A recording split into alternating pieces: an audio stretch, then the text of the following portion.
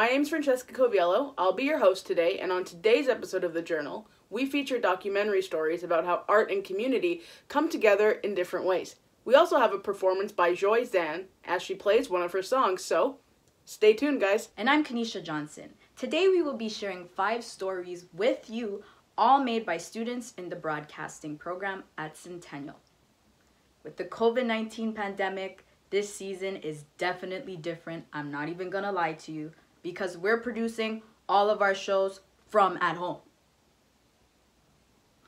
Anyways, in this show, we will take you to Paint Cabin, a DIY art boutique, and later Gladstone's annual Come Up to My Room art exhibit. And we also take you to the CCFS Film Actor Demo Studio plus the Archiving Eden exhibit, which really teaches you about the importance of C's. Our featured documentary, The Living Room, is about this community creative art making space up in Oshawa. But let's not waste any more time. I have a question for you. Have you ever tried to paint a picture? Because I know I have, and the results aren't that great. But you know what? It was super fun. Which brings us to our first short documentary called The Paint Cabin. It's about this storefront, do it yourself paint boutique where you, yes, you, can learn to be the next Andy Warhol. Well, not exactly.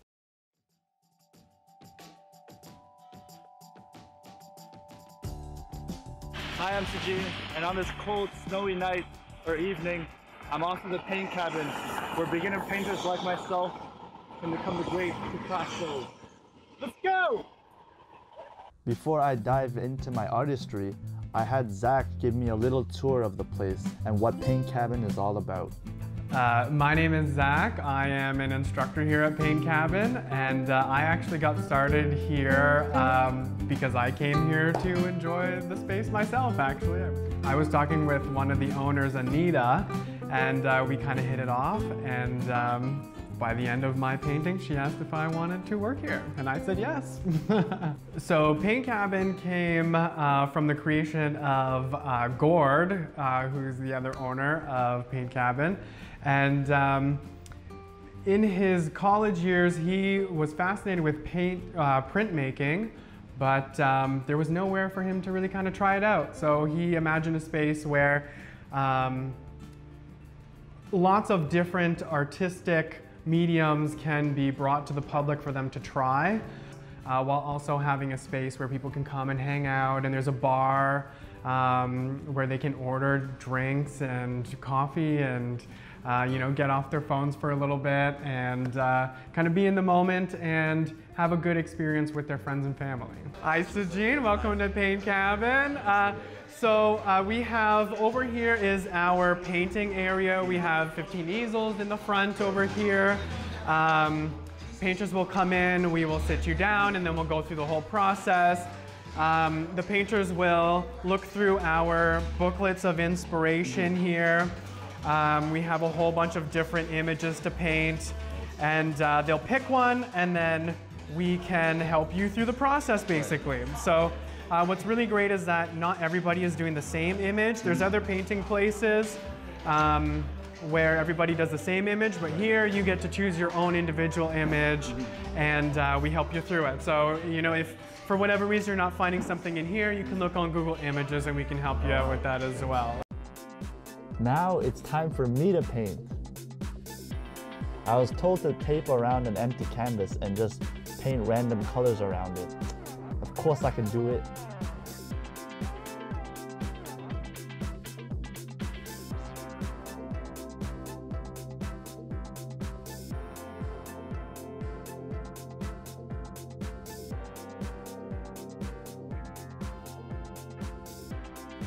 First time going at it, but I think I'm doing pretty well.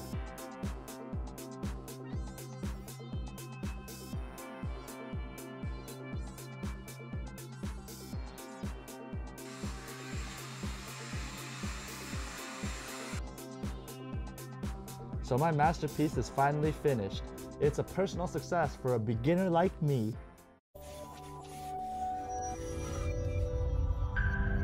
Wow, that was pretty good. Hey, Fran, what do we have coming up next? I'd really like to keep this momentum going up until the end. Well, Kenesha, we've still got lots to go with a couple of great documentaries on community art centers, even with a look at the famous Come Up to My Room art exhibit. So let's take a look at another really cool doc. Whether you're a budding painter or actor, or need a place to practice your chops, Casting Central Film Studio provides actors with the opportunity to make demo reels. Let's take a look.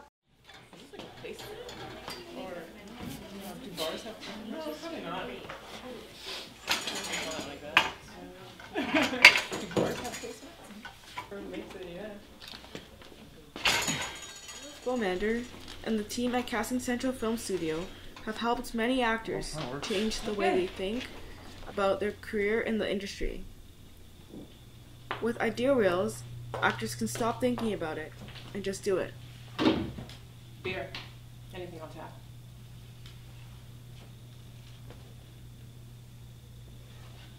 Are we ready to roll? Yep. Awesome, okay. Hi, I'm Lewis Baumander. I'm the artistic director of uh, Casting Central Film Studio, owner of Casting Central and LB Acting Studio. Can you take two.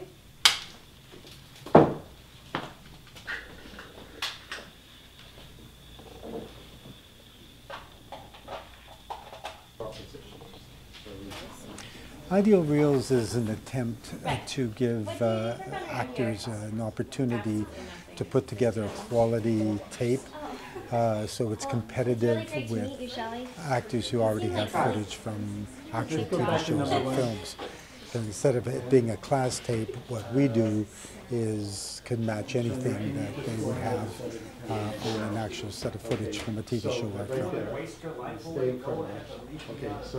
So we pick different uh, sets, locations, and we've done bars, restaurants, uh, we did horror. Uh, then we have uh, put an open call out there to people that they can submit, and they can submit their own scripts uh, or uh, give us a prompt and we'll write one for them. Inspiration was I had a lot of actors who were bemoaning the fact they didn't have quality tape. They wanted to write their own short films, but they didn't know where to do it, how to do it. Didn't think they could afford to do it. And I thought, you know what, maybe there is a way for us to do it. And uh, so I set the studio up, and uh, it seems we can do it. Looks every bit as good as anything you could shoot in a studio uh, or on a film set. It is a film set.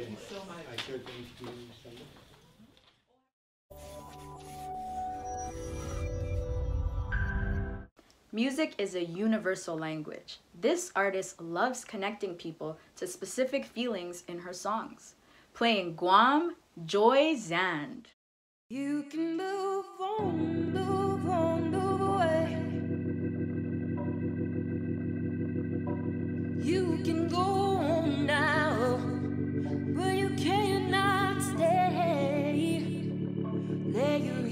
to the wind, put thoughts to your fire.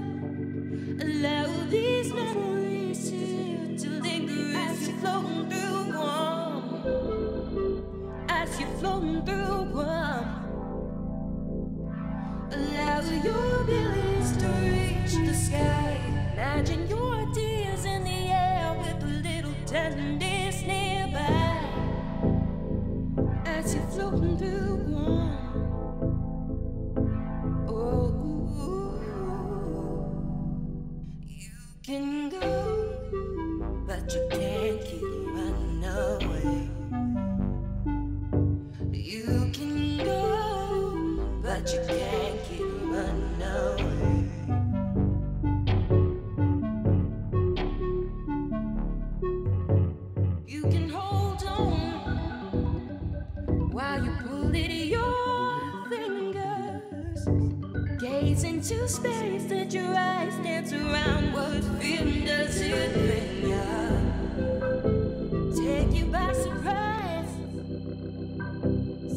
Something so friendly.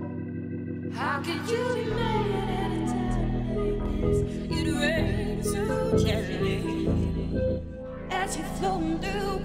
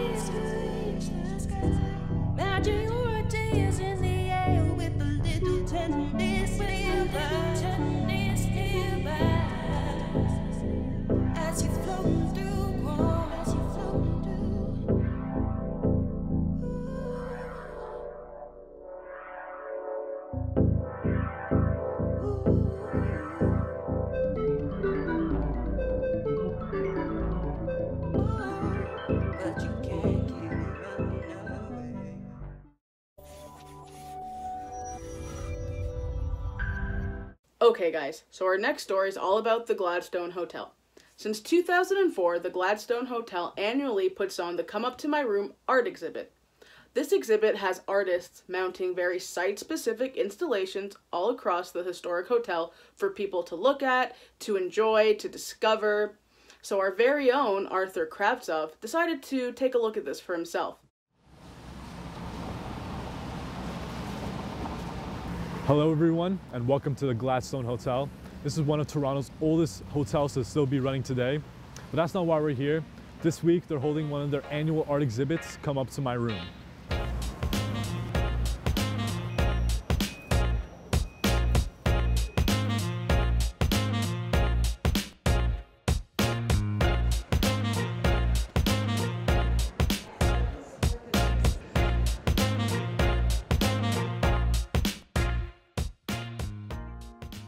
This event looks to transform the entire hotel into an immersive art exhibit that combines interior design with art. I got a chance to meet the director of the exhibit to see what's the thought process to create an event such as this. Come Up to My Room is a signature exhibition of the Gladstone Hotel, and 2020 is the 17th year of this exhibition. It was founded by Christina Zeidler, who is our founder and creative director, and Pamila Matharu. And at that time, they noticed that art and design were kept apart. They came out of the art school system, and they really felt like those two disciplines were encouraged not to collaborate and not to talk to each other. So they wanted to create an exhibition that really merged and integrated art and design and allowed them to exist in the same space. And that's what we've been doing for 17 years. Uh, this is our first year participating in Come Up to My Room, our third year as a collective showing our work in Design Geo. Yeah, so we we designed our show uh, around the color orange and uh, you know kind of grabbed all the orange objects we have. So we're using you know orange uh, push brooms and high visibility uh, earplugs um, and bubble wrap, extension cords and trying to design uh, a show around all those uh, oddly orange bits and pieces that we all find. Uh, yeah, Room, it's, uh, it's an immersive experience, uh, you know, creative environments that kind of overwhelm the senses. Wow, what an amazing experience. This event comes around every year and is definitely something you should come check out. This has been Come Up to My Room. I've been Arthur, and I'll see you around.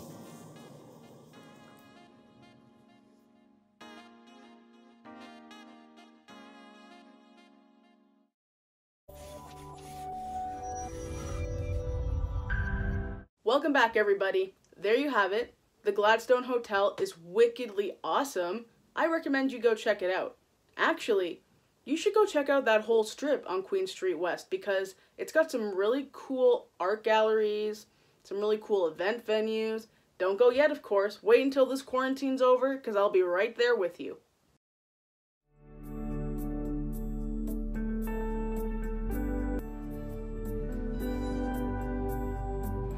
I I, got involved with this because uh, I think it's important that people connect with nature, and one of the easiest ways is they actually grow something, and uh, that's how they start caring. And so my workshop aims at uh, getting people to see seeds, care about seeds, and start growing them. I'm a part of this exhibit, Archiving Eden, which talks about the importance of seeds. I hold little workshops teaching people how to start uh, plants from seeds.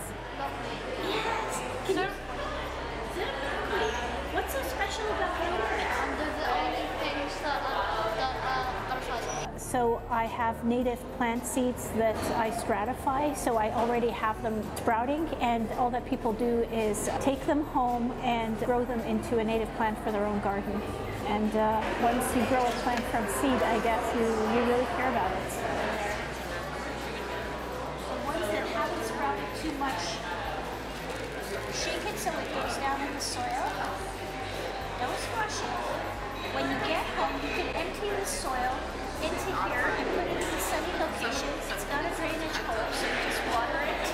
And um, it'll be about that tall by the end of May. The workshop talks about the benefits of planting within your conditions. So, what does it mean when you don't have to water plants, that they grow in this environment? So, lowering the environmental footprint of gardening and things that actually help bees and pollinators and butterflies and wildlife. And again, no pesticides or fertilizers. If you would like to be part of SAI's workshop, it will be offered three times a month. It's on two Saturdays and always the last Sunday of the month. For more information, please check out moca.ca slash programs.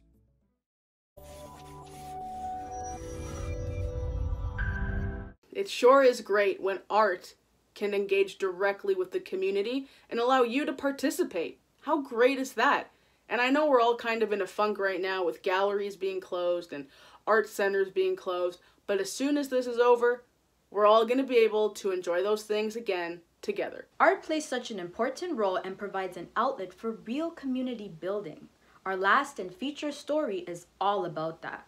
The Living Room Community Art Studio in Oshawa says their goal is to, quote, provide opportunities for people to connect with one another and discover creative, constructive ways of addressing the barriers that they face, encouraging collaboration and development of happier, healthier communities. Here is the living room. The Living Room Community Art Studio. Welcome to the living room, a special kind of place that welcomes all, no matter what, religion, creed, or race.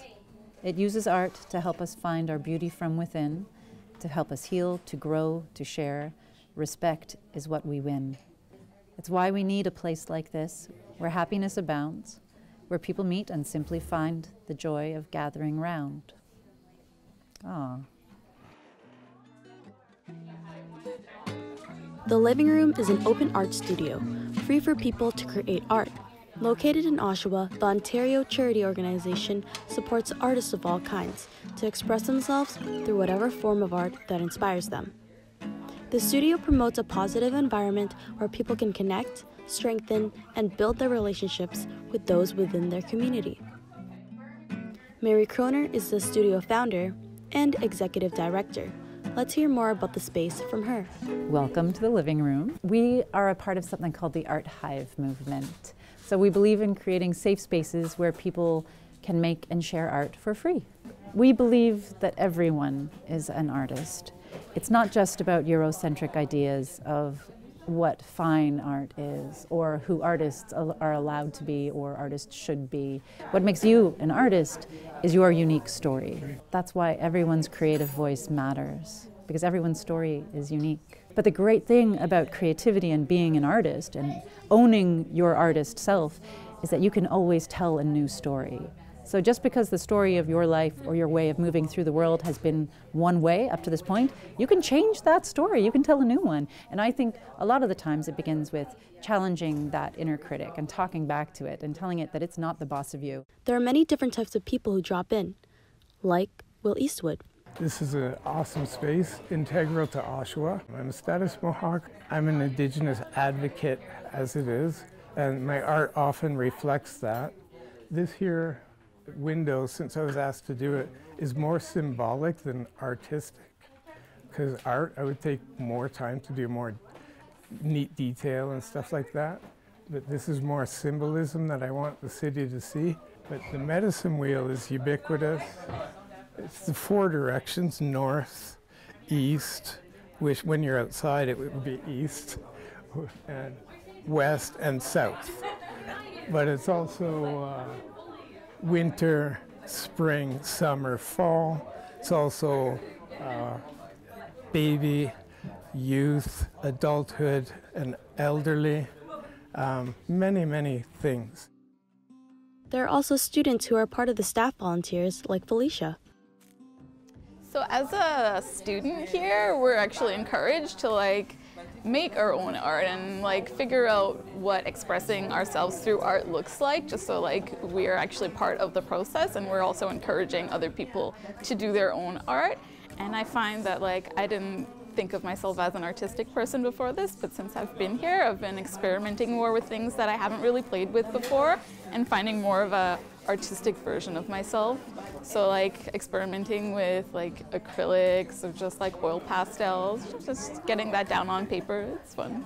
For me, I think art is anything that is made with the intention of making art. So it could be something as simple as, I don't know, like painting like some artistic lines on a piece of paper and if there's intention behind it and meaning behind it then that's that's art to me so it can take any form i would recommend that anybody come out and just check it out experience the vibe for yourself and maybe if, even if you don't think that you're an artistic person come out and see what you can create because we have all types of art materials to work with here one of our catchphrases is don't throw it away, bring it to the living room.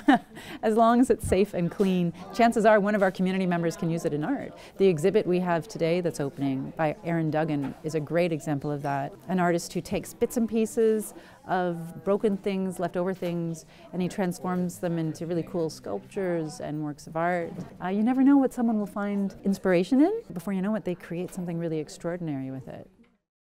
For me, when artists like you take time to create and share your work with others and make your voice heard, and when people come together like this to witness someone's work, to acknowledge that voice, that's a really beautiful and precious thing. So, without further ado, if I may, I would like to reveal the exhibit. Okay? Does someone want to help me get with the other side here?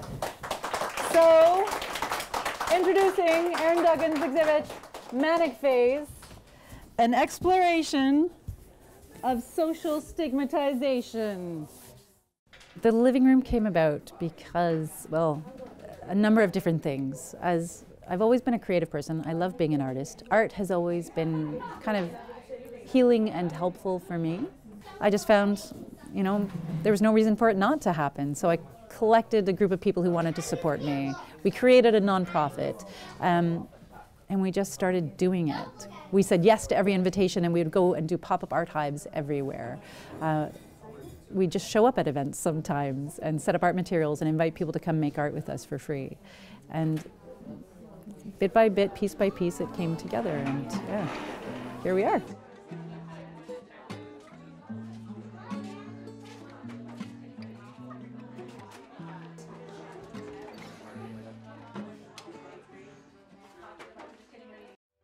I don't often have times to thank people who come on out and actually make this space the way it is, because it could just be me sitting here on my own, right? Um,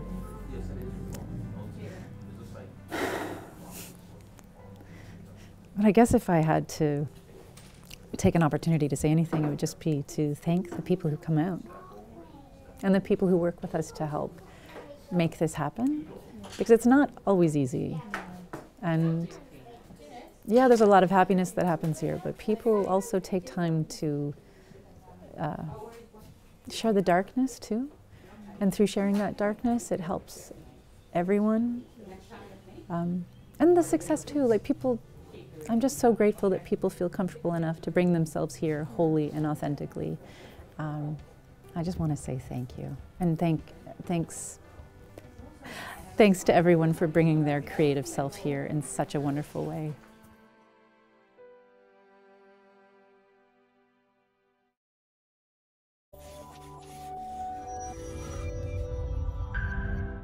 Well, guys, that's all for this episode. Thank you so much for tuning in. We hope you had a good time. With social distancing in place, we're all learning how to cope together, and in the end, we're going to come out stronger. So, Kenesha, what are your plans when this mess ends? Fran, I just can't wait to see everybody back at school again, take walks and feel the fresh breeze, just the little stuff. But anyways, for our viewers, make sure to check out all the other journal episodes on this channel. Once again, guys, thanks for watching. I've been your host, Francesca Coviello. And I'm Kenesha Johnson. Make sure to stay safe and stay inside. See you guys next time. Imagine your